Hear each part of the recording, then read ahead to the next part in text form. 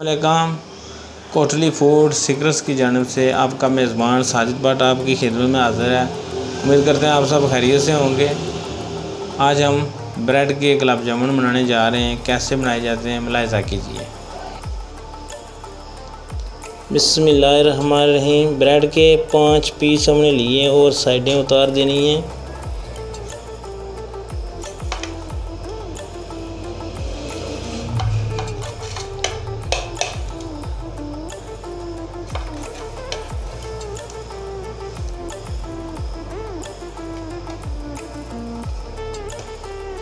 ये देखें, हमने साइडें उतार दी हैं और अब इनको अच्छी तरह मसल लेना है।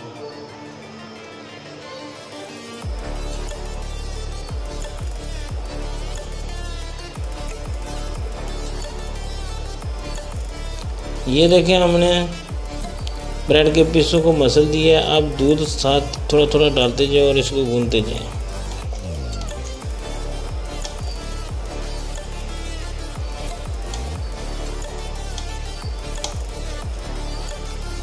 ऐसे ही आपने गूंद कर एक बड़ा पेड़ा बना देना है। एक कप अपने पानी लेना है। अब इसमें एक कप चीनी आप डाल दें अपनी चाश बनाने के लिए।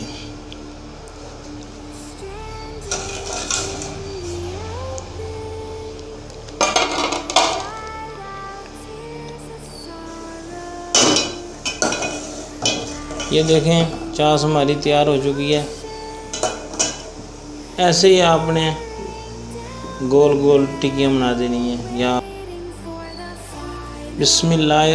रहीम कढ़ाई चूल्हे पर रख दिया है और चूल्हे को आग लगा दिया है। अब हम इसमें कुकिंग ऑयल डालेंगे। रहीम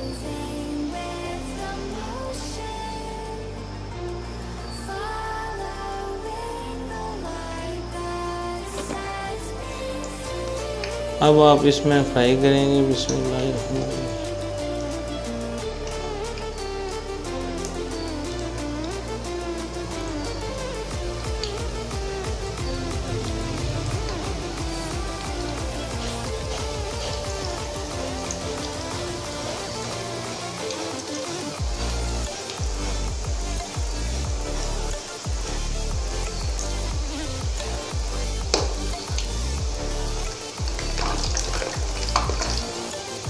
ऐसे ही आपने साथ साथ आते रहना है ताकि दोनों साइड से ब्राउन हो जाए।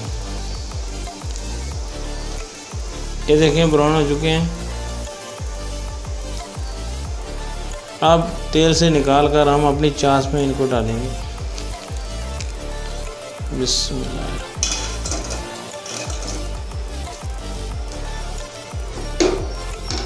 आधा घंटा इसको डुबोए रखना है।